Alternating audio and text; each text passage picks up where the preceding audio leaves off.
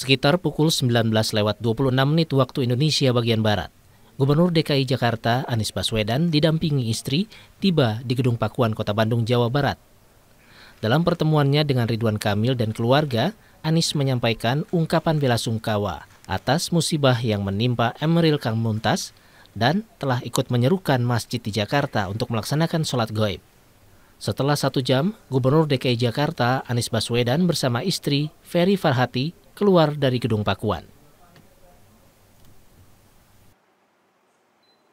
Kami uh, hadir bertemu dengan Kang Emil dan Teh Atalia menyampaikan ungkapan bela sungkawa, rasa duka cita kami pribadi, keluarga, dan atas nama seluruh masyarakat Jakarta yang pada hari Jumat kemarin masjid-masjid di Jakarta mengadakan sholat gaib untuk Allahyarham Eril.